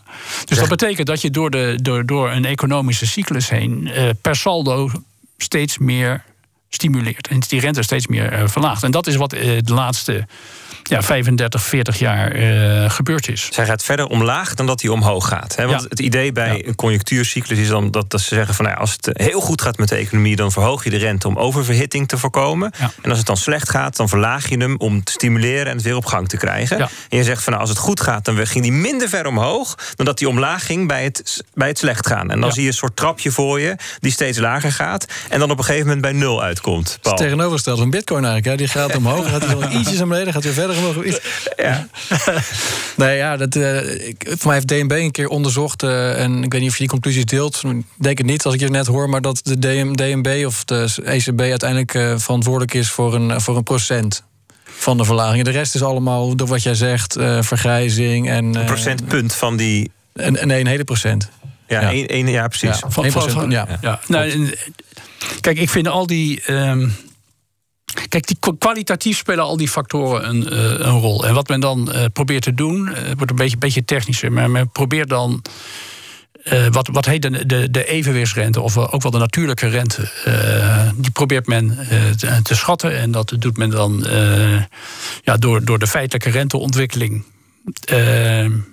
te trachten te verklaren uit die factoren die we net Wat, wat is de even, even voor de mensen, wat, wat is de evenwichtsrente? Nou, dat is de, de, dat is de rente die, de, die de, uh, het aanbod van liquiditeit of het aanbod van besparingen en de vraag naar uh, besparing, de aanbod van financieringsmiddelen en de vraag van financieringsmiddelen met elkaar in evenwicht uh, brengt. Als er niet zou worden ingegrepen ja, daar, daar, kom, ik, daar, kom, ik, daar kom ik zo op. Hè. Uh, dat, dat, dat, daar zit, precies de, eh, de crux. Uh, maar op, op, in wezen evenweer op een vrij functionerende markt. Daar moet je inderdaad aan toevoegen. Nou, wat men dan, dan doet, is men heeft een idee van wat die rentedaling heeft veroorzaakt. Hè. Men heeft het idee dat de evenwichtsrente is gedaald door de factoren die we straks bespraken, zoals vergrijzing en een aantal andere. En wat men dan doet, is de feitelijke renteontwikkeling. die probeert men econometrisch met, met statistische technieken te verklaren uit die factoren. Maar daarmee. Uh, ja, voor men ten eerste dat die, uh, dat die evenwichtsrente is, dat is niet iets wat je kunt waarnemen. Dat is niet een soort temperatuur die je kunt meten. En die kun je alleen schatten. Uh, en door de manier waarop men hem schat. Uh, ja, is het, is het een onzinnige uh, schatting, moet ik zeggen. Want men gebruikt de feitelijke rentes. Want dat is het enige wat men kan waarnemen. En uh, we weten dat de feitelijke rentes door de centrale bank worden, uh, worden bepaald. Uh, ik, ik, misschien een kleine anekdote die me ineens te binnen schiet. Eind jaren 80 hadden we, eind jaren 90 hadden we het probleem dat de rente zo hoog was. En toen had de economenvereniging, de Koninklijke Vereniging van de Staat Huishoudkunde, daar mocht je dan adviezen voor schrijven. En ik heb toen een advies geschreven over de, over de hoge rente. En eh, ik, uh, ik, ik, ik, veronderstelde toen eind jaren tachtig dat hij hoog zou blijven. Nou, het is een beetje anders gelopen. Dus dat is niet uitgekomen. Maar interessant was, ik had toen een discussie over dat, uh, dat stuk met Jelle Zijlstra, toenmalig net, net ex-president van de Nederlandse Bank. En die en, en, en ik beweerde dat die rente hoog zou blijven, omdat de, de, de landen uit uh, Oost-Europa die gingen, uh, die werden deel van het kapitalistisch systeem. Dat zou met een grote kapitaalvraag gepaard gaan. En daardoor zou die rente hoog blijven. En toen zei uh, Jelle Zijlstra zei tegen mij: dat is onzin. De centrale bank bepaalt rente. Dus ik zat toen nog in het mainstream verhaal, maar hij, hij, hij was toen al ervan overtuigd dat de, de rente uiteindelijk door de centrale bank wordt bepaald. En als je ook gewoon ziet ja, daar maken we een grote sprong. Als vandaag de dag, waar, waar de discussie in de financiële markten over gaan... Uh, en waar, waar alle analisten zich mee bezighouden... dat is inderdaad wat gaat de centrale bank uh, doen. Lex, mag ik daarop op inhaken? Want uh, dat heb ik ook altijd gedacht. En ik denk het in zekere zin nog steeds in grote mate. Maar tegelijkertijd, als je gewoon kijkt naar de, naar de lange termijn rente... die toch ook wel grotendeels door de markt wordt, wordt bepaald, zie je dat er een, een hele lage eh, rente wordt gevraagd. Ehm, dus dus in, in hoeverre heeft de Fed of een andere centrale bank dan nog wel de macht om dat, uh, om dat te bepalen? De, de markt verwacht blijkbaar dat er de komende tijd een lage inflatie komt, want ze zijn bereid om, met bijna niks genoegen te nemen. Dus een hele vlakke yield curve hebben we momenteel. Ja, dat, ja maar dat, dat is uh, vermoedelijk, we weten, we weten dat niet, uh, omdat de, men uh, vermoedt dat de Fed uiteindelijk, het voorbeeld van de Fed, uiteindelijk succesvol zal zijn om die inflatie onder controle te krijgen. Want je ziet nu ook dat de korte rentes in de VS die zijn hoger dan de ja, lange rentes. Omgekeerde yield curve noem je dat. Eh. Dit is even een goed punt. En deze vraag, voor deze vraag is het misschien goed om nog even uit te leggen wat nou eigenlijk de relatie is tussen rente en inflatie. Want we hebben net eigenlijk het gehad over waarom is die rente nou gedaald in 40 jaar tijd. En hoe zit het dan met die inflatie? Want jij vindt de inflatie was toen ook hoog. En ik denk als je naar de grafiek kijkt, die inflatie is ook gedaald in dezelfde periode. Hoe, hoe, zit het nou eigenlijk die, met die twee? Ja, dus nou, de, de, de, het, het tekstboekverhaal is het uh, volgende. Hè. Als je de rente verhoogt, dan zet je in gang wat heet een transmissieproces. Er gaat van alles gebeuren tussen die renteverhoging en uiteindelijk het effect op de inflatie. Uh, en als je het heel kort wil zeggen, is het uh, door, door aan die renteknop te draaien, ga je bestedingen, als je hem verhoogt, ga je uitgaven minder aantrekkelijk maken. Eh, als de rente omhoog gaat, gaan mensen meer sparen, minder consumeren. Eh, het wordt minder aantrekkelijk om eh, te investeren. Ehm, het wordt, je wisselkoers gaat, gaat omhoog. dat, dat, dat leidt tot, tot minder export. Dus, dus als je de, de, de rente omhoog doet, gaat de inflatie omlaag? De, en, dus dat betekent dat, dat de rente omhoog betekent. er zit een aantal stappen tussen. Maar, wat zo kort mogelijk te zeggen, is, is uh, dat leidt tot een neerwaarts, uh, neerwaartse druk op de vraag in de economie. Uh, en prijs is uiteindelijk, en inflatie is ook, is het punt waar vraag en aanbod elkaar ontmoeten. Dus als er minder vraag komt, dan gaan, komt er druk op de inflatie. Dat is het idee. En daar zit een heel transmissieproces tussen. en daar hoeven we verder denk ik niet, niet over te hebben, want dat is het mechanisme. Wat wel nog van belang is, dat, dat, dat de, het moment tussen het draaien aan de renteknop en het effect op de inflatie uh, gaat gepaard met lange en variabele vertragingen, zoals diezelfde Milton Friedman alweer uh, zei. Dus het kan zo anderhalf, twee jaar duren voordat je effect ziet. Oké, dus, dus de inflatie die, um, die, die werd op een gegeven moment steeds lager, hè, tot die op in de buurt van de nul kwam. dat hebben we de laatste twintig jaar gezien, dat die behoorlijk laag was, constant. En de centrale banken die, die, die, die doen daar wat mee door aan de renteknop te draaien met wat vertraging. Um, en dan zijn we nu aangekomen op het punt dat um, na heel lang er ineens weer inflatie is. En eh, ineens 4%, 5%, 6% inflatie. Waar, waar, waar, komt dat dan, waar komt het dan vandaan? Ja, uh, Kijk, er zijn, er zijn meerdere, meerdere factoren. Hè. De, ook, ook hier weer, als je het uh, mainstream verhaal bekijkt... en waar de centrale banken zelf ook uh, de meeste nadruk op uh, leggen... is het, ehm, het, het effect van de corona-maatregelen, de lockdowns in het bijzonder... die hebben de, de, de aanbodketen verstoord. Eh, Logistiek, productie. logistieke, eh, logistieke factoren. En dat, uh, ja, dat leidt ertoe dat, dat, dat er wel vraag is, maar geen aanbod. Dat aanbod het niet kan bijhouden. Dat, dat wordt als de hoofdfactor gezien. Nou, dat is een kwestie van tijd voordat je. Ja, dus ze zeggen dan is het de, de inflatie is transitory, is tijdelijk, is van voorbijgaande aard. Want dat zijn verstoringen van productie en logistiek en dat is te fixen. Ja Dat is de, dat is de en dat is te fixen door. Uh, en dat wordt ook gefixt door niet-monetaire maatregelen. Daar heb je de centrale bank niet voor nodig. Nee, precies. Uh, ik denk dat er heel erg onderbelicht is. Uh, het beleid van de centrale banken en overheden zelf, waar we het eerder over hadden. De, de reactie van centrale banken en overheden op de, op de COVID-crisis is heel veel stimuleren. Eh, vanuit de overheidsbegroting geld in de portemonnees krijgen van Henk uh, en Ingrid. En dus, uh, dus het vergroten van de. van de hoeveelheid middelen die mensen hebben om bestedingen te kunnen. Ja, in ieder geval daarvoor zeg maar de middelen beschikbaar te stellen. Hè? Dus, dus er zijn heel veel mensen die hebben in Nederland tijdens die lockdown, die konden niet naar het buitenland. Die zouden anders misschien een vakantie hebben genomen. En die, die hebben dat deel uh, hebben dat geld niet kunnen uitgeven. En die hebben dat uh, gespaard. En nu. Ja, nu weer even niet, maar in de periodes dat die, die, die lockdown er niet is, kunnen ze het, uh, kunnen ze het uitgeven. En dat, dat op, op een moment dat zeg maar. Maar is dat, is dat niet ook een tijdelijk effect? Als je wat, het geld wat je eerst niet uitgaf, dan inhaalt of zo? Het is eigenlijk een, een, een, in zekere zin een perfect storm natuurlijk dat beide samenkomen. Maar ik heb wel het idee, uh, en daarom ben ik ervan overtuigd dat het niet tijdelijk is, dat zeker in de Europese Unie is men nu zo gewend geraakt aan het feit dat begrotingstekorten er niet meer te doen en dat iedere keer kan worden gegrepen naar een makkelijke geldoplossing. Dat bij iedere nieuwe virusvariant, iedere nieuwe uh, problematiek, of het nou um, uh, hogere gasprijzen zijn of anderszins, dat iedere keer naar dat instrument wordt gegrepen. Omdat het instrument? Het instrument van uh, begrotingstekorten, um, geld bijdrukken. Ja.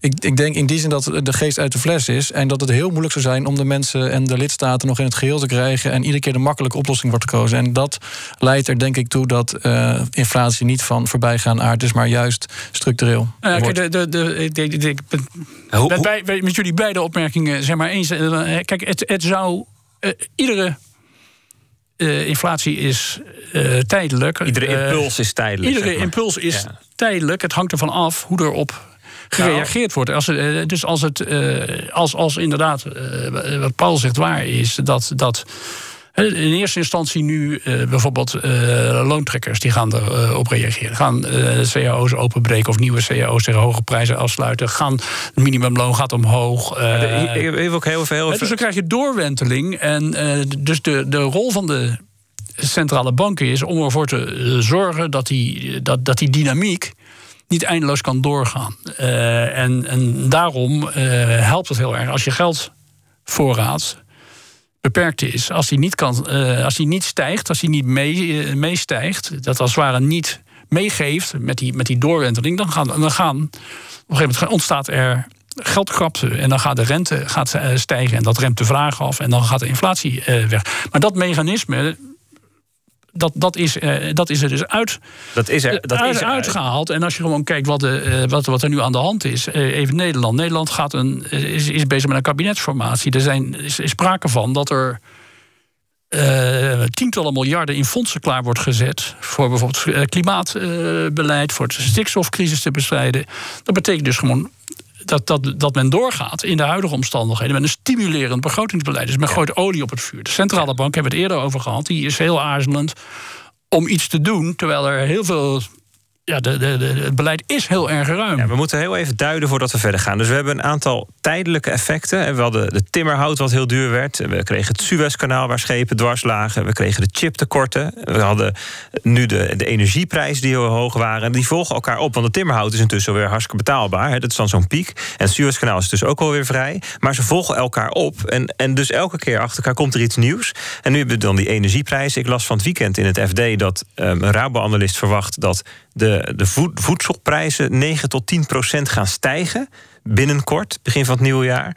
Um, dus dan komt voeding erbij. Is ook niet zo gek, want er wordt natuurlijk veel energie verbruikt om dat te produceren. Dus als de energie duur is, wordt de voedsel duur. En je komt dan op het punt, zegt Lex net, van dat ook de lonen omhoog gaan. Dat mensen zeggen, nou doe mij dan maar wat meer salaris. Grappig genoeg las ik ook een bericht van de ECB de Europese Centrale Bank, dat de medewerkers daar zeiden: doe, mij, doe ons maar een hoger loon vanwege de inflatie. ECB heeft een hele militante vakbond, kan ik je vertellen. dus dat is heel grappig. Maar dus dan, hadden we, dan krijg je de lonen die omhoog gaan. Als de lonen omhoog gaan, dan wordt het voor een bedrijf duurder om te produceren. Dus moeten de prijzen omhoog. En dan gaan de lonen omhoog. En dat is dan de loonprijsspiraal. En daar zijn ze bang voor. Want als we daar aankomen, dan zou het wel eens niet tijdelijk kunnen zijn, Paul.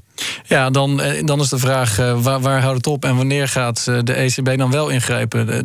Lex, aan jou mijn concrete vraag. Wat is het Malieveld momentje voor, voor, voor DNB slash ECB dat, dat ze wel iets aan die rente gaan doen? Malieveld momentje? Als in dat men dat ja, vak, vakbonden, tractors, iedereen naar buiten, omdat de inflatie, eigenlijk wat je nu in, in Turkije ziet gebeuren, ehm, dat wil je natuurlijk voorkomen. Dus daar zal de ECB op moeten reageren. Ja, daar zijn we natuurlijk ver, ver vanaf. Hè. De, Ver als in maanden of jaren? Eh, eh, nou, ik bedoel, we zijn ver af van, van een situatie aan la, Turkije. Sure. Dus, eh, er zijn, dat is, dat is wel belangrijk om te zeggen, er zijn uh, nogal wat reacties die zeggen: ja, het valt met die inflatie allemaal wel mee. Uh, we gaan hier niet naar hyperinflatie. Nee, dat, dat, die kans op hyperinflatie binnen, binnen, binnen de middellange termijn die acht ik ook zeer, zeer gering. Maar stel, stel dat de inflatie blijft hangen op 3,5 procent, dan gaat die wel wat dalen. Maar dan blijft, dan blijft die ver boven die, die 2 zitten. Als je 3,5 procent inflatie hebt, dan, dan halveert je koopkracht in 20 jaar iedere 20 jaar, eh, jaar opnieuw. Dus na 40 jaar is er nog maar een kwart van, van over. Dat, dat, dat willen we niet. Dat ruïneert uiteindelijk je, je middenklasse en je gepensioneerden en je, en je spaarders. Op welk moment gaat, gaat de ECB het echt. Uh, uh, merken. Ik denk, ik denk als er vanuit de, uh, de, de, de maatschappij in eerste instantie druk gaat ontstaan op de politiek. dat mensen echt last van inflatie krijgen, dat niet meer willen. En, en nou, inflatie is een relatief nieuw verschijnsel. Uh, na 40 jaar weer, uh, bij wijze van spreken. Dus dat, dat kan even noemen. De sterkste eh, plek van waaruit de druk nu, nu al begint te komen is vanuit de gepensioneerden. De, de tweede pijler pensioenen, die, die staan al van de grote pensioenfondsen, die staan al 15 jaar uh, nominaal stil. En daar gaat nu inflatie overheen uh, komen. Dus da daar is veel, uh, veel onrust. Als dat politiek gaat aanslaan, dan, dan gaat, er, gaat er druk vanuit de, de politiek achter de schermen op de ECB komen. En dan gaat het verhaal veranderen. Maar ik schrok eerlijk gezegd van een interview dat ik afgelopen weekend met Klaas Knot zag in het Financieel Dagblad, waar, waar, die, waar die zei ongeveer letterlijk uh, van nou ja, in 2022 gaan wij de rente niet verhogen. En toen zei hij: Ik sluit niet uit dat we in 2023 uh, eh, wel iets zullen doen, maar dat, daar ben ik heel voorzichtig over. En ze moeten natuurlijk eerst ook die stimuleringspakketten nog afbouwen. En dan... Ja, maar dat is een zelfgekozen volgorde. Je zou uh, heel goed kunnen uh, zeggen: We gaan nu. je, moet, je moet niet nu plomp toen ineens de rente verhogen. Dan, dan creëer je een hoop ellende. Maar we gaan de markt voorbereiden op, uh, op renteverhogingen. Uh, we nemen dit, uh, dit serieus.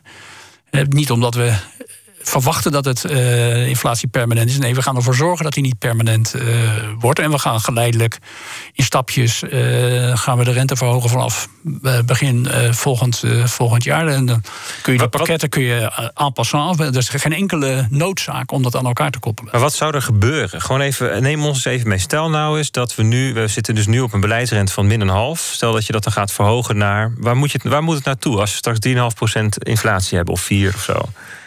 Ja, kijk, als, als, je, als je daarop uitkomt, dan, dan, dan, dan moet je uh, heel hard op de rem gaan, uh, gaan staan. Dus dan moet je uh, niet, niet, niet in stapjes van 25 basispunten of 10 basispunten, wat een beetje gebruikelijk was geworden ja. toen er nog wel eens een rente verhoogd werd. Moet je plus 2 dan in één keer? Nee, dat, dat, dat, dat, dat, dat richt nog meer, dat is, dat, daar kennen we historisch in, in, de, in, de, in de westerse wereld niet, niet echt voorbeelden van. Maar dan, dan, moet je, uh, dan moet je 25 basispunten, maar dan het hele jaar uh, door. Afgewisseld met 50 uh, soms. Als het gewoon dus in, in, in of 75 gebeurt ook nog wel eens. Dus je kunt dan. Uh, ja, dan moet je, dan moet je echt zorgen dat het beleid remmend gaat worden. Kijk, het, het probleem is. waarom ik zo moeite heb met het afwachtend zijn van de ECB. Is omdat als, als ze dat nu deden op een situatie dat de rente al behoorlijk dicht tegen het niveau aan zat waarbij een verdere verhoging remmend zou werken. dan zou ik er nog enig begrip voor hebben. Maar die rente met die min een half. Ja, als je, als je daar een half bij doet. Even los van, van eventueel paniek in financiële markten. Maar gewoon voor, voor een bedrijf. Of, die nou, of de ECB-rente nou min half of, nul is, dat maakt niet zoveel het maakt allemaal niet zoveel uh, uit. Het, het, echte effect gaat komen door door de reactie op de financiële markten. Die zouden als je dit nu pond verloren zou doen, dat zou onmiddellijk tot een hele grote onrust uh, leiden. Nieuwe ja, want er is wel spreken toch? Hoeveel, uh, hoeveel impact het op de huizenprijzen in Nederland zou hebben als die rente omhoog gaat. Bijvoorbeeld, stel dat die rente met een procent omhoog gaat. Uh, dan ga ik hele gevaarlijke dingen zeggen, want ik, ik weet niet 100% uit mijn hoofd, maar het heeft wel een substantiële impact op, op uh, huizenprijzen. Misschien zelfs uh, dat gemiddelde huizenprijs met enkele tienduizenden euro's dan. Uh, ja, dat is het discontovoet-effect natuurlijk. Ja, hè, de, ja. dus dat, dat zijn niet eens zulke moeilijke sommetjes nee, nee, maar dat is, te maken, maar dat gaat echt om tientallen procent. Nee, als je dan volgend jaar omhoog gaat met een procent, want een kwartje heeft geen zin in dus als je nee. de procenten omhoog gaat, dan zou je dus volgend jaar of wanneer het dan wordt, eh, het zeggen, we wachten nog een jaartje, maar die, je kunt vrij goed van tevoren gaan berekenen wat dat voor impact zal hebben op, uh, voor de huishoudens. Ja, de, de, de, ECB heeft de illusie en, en, Knot heeft de illusie, en die is uh, ook in het begrotingsbeleid ingeslopen, dat je altijd onevenwichtigheden kunt corrigeren, dat het ook, zonder dat ook maar iemand pijn doet. Uh, en dat is, dat, is ja, dat, dat, is een illusie. Nee, maar dat, dat, ik, ik heb hun rapport Financiële Stabiliteit gelezen uit dit najaar september. En daarin zegt ze zelf eigenlijk ook: uh, we zitten klem. En jij zei het heel expliciet op Twitter. Zij zeggen dat, nou nee, dat moet je niet zo lezen. Maar ik lees het wel. Ik lees namelijk er zijn twee opties. We kunnen of de rente lang laag houden en dan bouwen zich steeds meer onevenwichtigheden op. Met andere woorden, je kan eigenlijk zeggen: het, het, het, het, de hoeveelheid brandbaar materiaal wordt steeds groter. Of we kunnen de rente verhogen, maar dat zorgt voor schoksgewijze aanpassingen in het prijspeil. Nou, je had net over wat is het effect van een procent punt op, op, op huizen. Of twee, weet je, procent. Maar het is niet alleen huizenprijzen. De aandelenmarkten, de waardering van aandelen. Alles, alles. De waardering van obligaties. Kijk, obligaties, als de rente op obligaties stijgt... denken, oh, dat is fijn voor de pensioenfondsen. Maar de waarde van hun obligaties daalt daardoor. En ook heel snel als het dicht bij de nul zit. Die, die, die curve is daar heel uh, gevoelig. En nog systematisch natuurlijk wat jij al zei, Lex, de, de houdbaarheid van de euro als, als Zuid-Europa niet meer te financieren is. Dus dat, dat, ja, dat is een hele. Ik, ja, kan me voorstellen dat jij niet graag op die plek had gezeten nu. Uh, nee, Lex. nee op tijd aller, aller, allerminst moet ik zeggen. Kijk, en, en, we hadden het net even over het Nederlandse begrotingsbeleid dat stimulerend wordt. We, we weten dat op dit moment zeg maar dat EU-herstelfonds dat begint nu tot uitgaven te leiden. Dat is natuurlijk helemaal verkeerd getimed. Eh, dat, dat zou je nu moeten Want dat temporiseren. inflatie. Dat, gooit olie op het vuur. Eh, eh, Nederland met die extra fondsen. Kijk, Nederland zou een mooi signaal kunnen afgeven. Te zeggen, nou die 6 miljard die wij nog uit dat fonds krijgen Geef hem maar even niet, want dat is conjunctureel helemaal niet verstandig om dat nu. Uh, Zit heeft Nederland hier nog een ander belang of een andere positie dan, uh, dan laten we zeggen, Zuid-Europa? Ik bedoel, ik denk even aan het bericht ook van de week dat um, vorige maand de werkloosheid weer op het punt was van voor corona, namelijk het allerlaagste sinds we zijn gaan meten in 2003. Terwijl de jeugdwerkloosheid in Spanje nog boven de 30% of zoiets is. Weet je, heel hoog in ieder geval. Zit daar nog zo'n groot verschil? Ja, er zit, er zit uh, overigens grappigerwijs... de, de uh, werkloosheidsdefinitie is net aangepast... waardoor onze uh, werkloosheid naar 4% gaat. Maar nog, nog steeds is die arbeidsmarkt is heel, is heel krap. en en er zijn, daar zijn verschillen. En er zijn denk ik ook verschillen... als je kijkt naar de, de inflatiecijfers... Uh, ik, ik, ik, heb niet paraat wat het inflatiecijfer voor Italië is, maar dat is, uh, dat, dat, is zeer beperkt uh, ja. als je het vergelijkt met andere landen. Dus die, die verschillen die er bestaan, die, die, zijn er, die zijn er nog steeds. Maar ik denk dat er ook een ander Nederlands belang speelt, zeg maar, met name van politici. Dat is wat ik net eerder zei. Er, is, er zijn grote noden in de maatschappij. Er zijn grote prioriteiten: klimaat, stikstof, woningbouw, onderwijs, zorg enzovoort. En die, ja, die, die kunnen ze nooit allemaal tegelijk lenigen als ze dat netjes zouden financieren. Dus er is een, een belang bij het, bij het laag houden van die rente. En dat als argumenten gebruiken, om dan kun je lenen. En dat geldt zowel op Nederlands niveau als op ja. internationaal niveau. En daarbij, daarbij, dat is ook politiek aantrekkelijk, omdat het ook de steun zal hebben van. Ehm, zeg maar de, de, link, de linkerpartijen die niet in het kabinet zitten, omdat die natuurlijk heel blij zijn met die extra uitgaven voor klimaat. En het heeft, ook, het heeft ook de steun van het grote internationale bedrijfsleven, omdat er grote subsidiepotten uh, klaarstaan. Kortom, het zou wel eens zo kunnen zijn dat we een, in een periode, wat langere periode zitten, dat daadwerkelijk de rente heel laag is en dat de inflatie wat hoger is. Met andere woorden, negatieve reële rente. Met andere woorden, als je geld op de bank zet, dan smelt het als een ijsklontje of als een, een, een ijsje op een warme zomerdag. Vind ik altijd een mooie beeldspraak. Wat moeten wij met ons geld? Stel dat ik nu 20.000 euro over heb. Ik heb niet een miljoen. Hè, dat is dan, dan kun je nog weer huisjes kopen. Dat soort dingen. Ik heb 20.000. Wat... En je hebt ze echt over. Hè? Dus echt... je hebt ze niet, niet onmiddellijk nodig. Nou ja, ik, ik, kan ze op een spaarrekening. Kijk, ik heb er hard voor gewerkt. Ik heb er met mijn loon is dat. En ik wil graag dat over 40 jaar kunnen uitgeven. Wat, ik kan het niet op mijn spaarrekening zetten, want dan smelt het weg. Je zegt net in 40 jaar heb je een kwart over van de koopkracht. Wat moet ik ermee, Lex? Ja, het is, het is een hele vervelende complexe situatie. Dat is een, dat is een mooi antwoord. Nee, maar waarom is dat zo? Dat is omdat. Um, wat we nu, nu uh, bespraken, uh, dus, dus straks, uh, er is een mogelijkheid. Je kunt niet uitsluiten dat op een gegeven moment die, die centrale banken wel die rente gaan verhogen. Nou, als je dan net je geld allemaal in mooie obligaties hebt gestopt, krijg je een enorme tik. dus dat, dat, is het eerste. Het tweede is. Um, als je, dat, we niet, dat we niet kunnen weten zeg maar, nogmaals, of die centrale banken gaan ingrijpen en of ze op een geleidelijke manier ingrijpen. Als ze te hard gaan ingrijpen, en die kans is heel groot. Er zijn weinig echte inflatie, inflaties gebroken. Nee, okay, zonder dat iets kost. Nee, maar dan, krijg je, dan kom je in een ander regime terecht. Dan kun je ineens weer terechtkomen in een regime met, met dalende, uh, met, met hele lage inflatie. Dat ze de rente weer heel erg laag. Uh, Oké, er zijn maken. onzekerheden. Maar ik heb nu 20.000 euro en ja, die dus, ik nu smelten. Uh, ja, maar dus wat, wat, ik, wat ik, wat ik, wat, ik zelf, nee, wat ik zelf, ik gewoon zeggen wat ik zelf, ja, wat, ik, wat, ik, wat ik zelf doe, niet, niet, niet 20.000 euro, maar mijn eigen, mijn eigen geld. ik, ik hou relatief veel liquiditeit aan nu. Juist, juist veel liquiditeit, juist veel cash. Waarvan ik weet dat het, uh, dat het smelt. Uh, en ik breng uh, meer, meer balans aan tussen de hoeveelheid aandelen en obligaties. binnen aandelen schuif ik meer naar, naar, naar bedrijven van ik denk die kunnen, die kunnen dingen doorrekenen.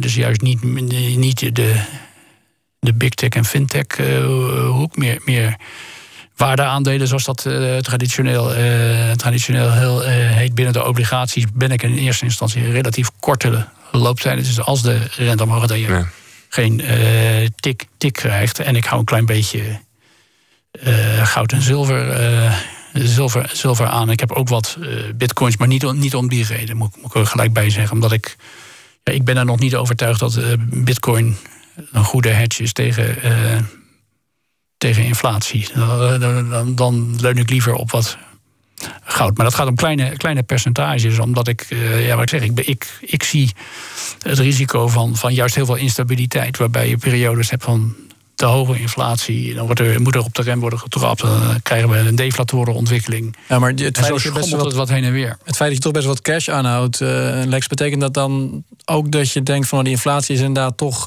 uh, tijdelijk, want ze gaan straks de rente verhogen en daarna kom ik uh, misschien in een klimaat terecht waar ik wat koopjes kan, kan, kan pakken? Nou, niet. niet, niet ja, eh, dat zal uiteindelijk mijn eh, reactie zijn als we daarin terecht, uh, terechtkomen. Maar het is, het is in eerste instantie is, er, is het gedreven door de angst om nog meer uh, dan 5%, zeg maar, als ik nu, zeker de Nederlandse inflatie even als. En je verliest zeker 5% per jaar? Dat doe, dat doe ik in dit stadium liever dan die 30, 40% koerscorrectie die er, die er zomaar zou kunnen, kunnen komen als er toch op de rem getrapt moet gaan worden. Oké, ik denk dat we het hierbij moeten houden. We kunnen nog heel lang over doorpraten, denk ik. Paul, heb jij nog wat uh, toe te voegen als afrondende gedachte? Nee, ik uh, vond het een erg uh, onderhoudend en interessant gesprek. dank, Alex.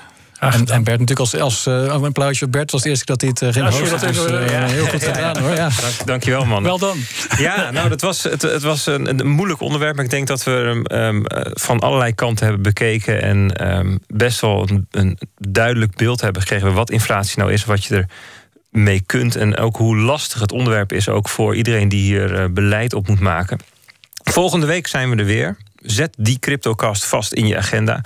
Dan is hier kunstkenner en innovatiestratege Gustav Dekking te gast om te praten over het nut van NFT's in de kunstwereld. Co-host is dan Krijn Soeteman. Vond je deze aflevering leuk? Vergeet hem dan niet te delen met je volgers op Twitter en gebruik de mention CryptoCastNL. Reviews achterlaten op Apple Podcasts kan, is een goed idee. Andere podcastliefhebbers die, die uh, komen dan achter dat je, uh, dat je deze podcast moet gaan luisteren. Like, subscribe en comment op YouTube natuurlijk. Dankjewel en tot volgende week.